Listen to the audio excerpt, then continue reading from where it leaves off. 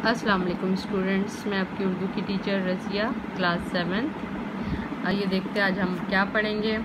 आप खोलेंगे नर्दबान, सफ़ा नंबर पचपन। ठीक है? सफ़ा नंबर पचपन पे आज हम पढ़ेंगे मस्बत और मनफी जुमले। वो जुमले जिनमें इकरार की कैफियत हो, उन्हें मस्बत, पॉजिटिव जुमले कहते हैं, और वो जुमले जिनमें इनकार की कैफियत हो, उन्हें मनफी यानी नेगेटिव जुमले कहते हैं। अब आपने पहले जुमले की इकसाम पढ़ी हुई हैं, आपको याद होंगी जुमले की कितनी इकसाम थी। तीन इकसाम थी ना पहले मस्बत थी, फिर मनफी और सवालिया, ये तीन इकसाम थी।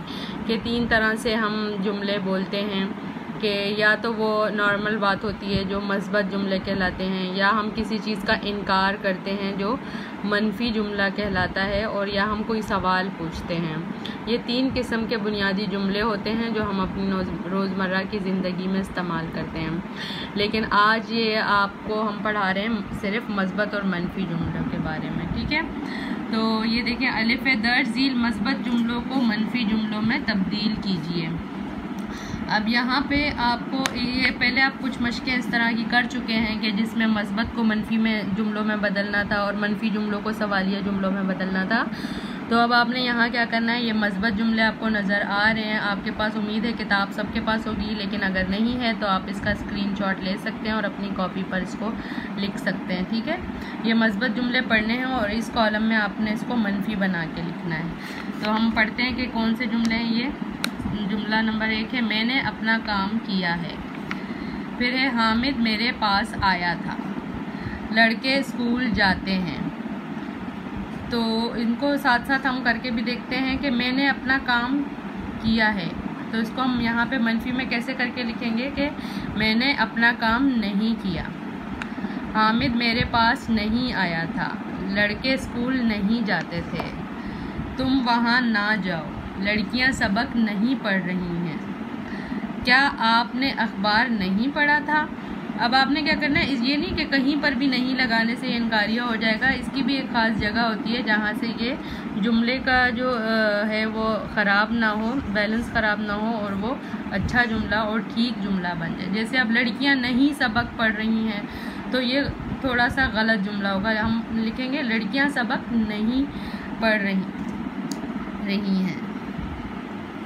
क्या आपने अखबार पढ़ा था? क्या आपने अखबार नहीं पढ़ा था? हामिद और अकबर दोनों नहीं आए होंगे।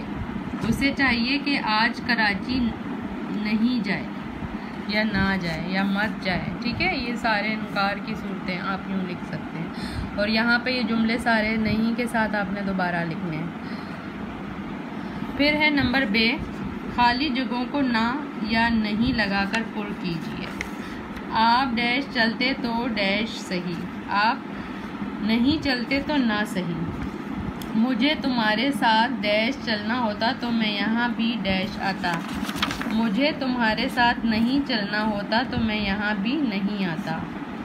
उसने वादा किया है कि वो आइंदा चोरी नहीं करेगा। मुझे यकीन नहीं आता कि उसने ये काम नहीं किया होगा, या ना किया होगा। वो काम ना करता था, इसलिए उसे मजदूरी नहीं मिली। ठीक है? इस तरह ये आपने ना या नहीं हर जुमले में लगाना है और इसको फिल करना है। ठीक है? आपने इस सफ़े पर तारीख लिखनी है।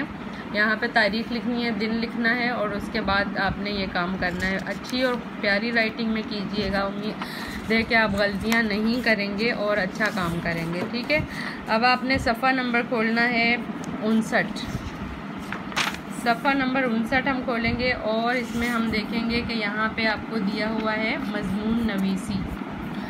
तो हम इसको पढ़ेंगे दर्ज झील सवालात की मदद से मेरा शहर या मेरा गाँव के उनवान पर मजमून लिखिए अब यहाँ पे आपको कुछ सवाल दिए हुए हैं। मजमून तो वैसे भी आपको आ, पता ही है कि आपने ख़ुद से लिखना होता है, हम कुछ मजमून लिख पाते थे, लेकिन अब आपके एग्ज़ाम में भी ये हो गया था कि अनसीन मजमून आपको सिर्फ़ टॉपिक दिया जाता और उसके ऊपर आपने मजमून लिखना होता था।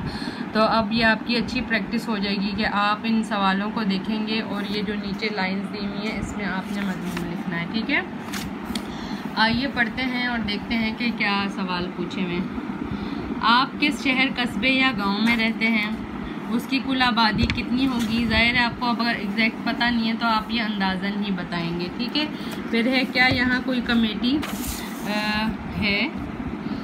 क्या यहाँ हर चीज़ मिल सकती है? क्या यहाँ कोई हस्पताल है? क्या यहाँ कोई तफरी गाह है? यहाँ के लोगों की ज़िंदगी कैसी है? ये शहर कस्बा गाँव कहाँ वाक़ है? यानी आपने अपने शहर का नाम लिखना है या जिस जगह के बारे में आप लिखने हैं आपने उसका नाम लिखना है। यहाँ अक्सर लोग के पेशे क्या हैं लोगों के? क्या यहाँ कोई बाज़ार है? यहाँ कितने स्कूल हैं? ये भी आप अंदाज़न ही बताएँगे क्योंकि आपको तो नहीं पता होगा कि आपके इलाके में कितने स्कूल हैं, लेकिन अगर आपको पता है तो आप वो भी लिख सकते हैं। यहाँ से रेलवे स्टेशन कितनी दूर है? यहाँ सफ़ाई का इंतज़ाम कैसा है? तो आपने ये सारे सवाल पढ़ने हैं और इसके जवाब आपने जहन में सोचने हैं और लेकिन सवाल जवाब की तरह नहीं लिखना कि आपने सवाल लिख, ये लिख देखा और इस लाइन में जवाब लिख दिया, दूसरा सवाल देख के इस लाइन में जवाब लिखिए ऐसे आपने बिल्कुल नहीं करना, आपने ये सारे सवाल पढ़ने हैं और बल्कि आप ऐसा कीजिए कि पहले किसी रफ़ पेज पर, उस पर आपने इन सवालों के सारे जवाब लिखने हैं और उसको एक पैराग्राफ की सूरत में लिखना है, ठीक है? एक इबारत की सूरत में लिखना है कि आपका यहाँ अगर जुमला ख़त्म हो रहा है तो यहीं से आपका दूसरा शुरू हो, ताकि जितनी ये जगह आपको दी हुई है, आप इसमें पूरी इबारत लिख सकें मजमून की, ठीक है? आपने इसको सवाल जवाब की तरह नहीं करना है कि आपने ये इसको जैसे सवाल नंबर एक का जवाब दे दिया, दूसरी लाइन में दो का, तीसरी में तीन का, ऐसे बिल्कुल नहीं करना। आपको ये सवाल सिर्फ़ इसलिए दिए हुए हैं ताकि आप अपने शहर या गाँव के बारे में लिखते हुए ये सारे जहन में रखें कि ये सारे पॉइंट्स आपने लिख मिला के एक इबारत अपने मजमून या शहर या कस्बा या गाँव जहाँ पर भी आप रहते हैं या जिसके बारे में आप लिखना चाहते हैं, उसके बारे में लिखें, ठीक है? ये एक मजमून की सूरत में आपने यहाँ लिखना है जिसमें ये सारी इंफॉर्मेशन आपने दी हो, ठीक है? तो आपने इसको यहाँ लिखना है अच्छी सी राइटिंग में, अच्छे अल्फाज में, मुनासिब जुमले होने चाहिए, गैर ज़रूरी जुमले नहीं होने चाहिए आपके। और इसके अलावा भी अगर आपके, आपको अपने शहर के बारे में कोई मालूम हैं तो आप वो भी लिख सकते हैं, ठीक है? जैसे बहुत ज़्यादा तरक्की याफ्ता शहर है तो उसमें यकीन इनके अलावा भी कुछ सहूलियात होंगी जो इसमें नहीं दी गई और आपके जहन में हों तो आप उसको भी साथ लिख सकते हैं, ठीक है? और ज़रूरी नहीं है कि आप बिल्कुल इन्हीं के जवाब लिखें और इनसे अलग कोई जुमला नहीं है, ऐसा बिल्कुल नहीं है। आप अपने जहन से और भी जुमले लिख सकते हैं जो चीज़ आप लिखना चाहें। लेकिन एक मज़मून आपको ऐसा लिखा होना चाहिए कि जिससे ज़्यादा से ज़्यादा मालूम आपके शहर के बारे में हासिल हो सके, ठीक है?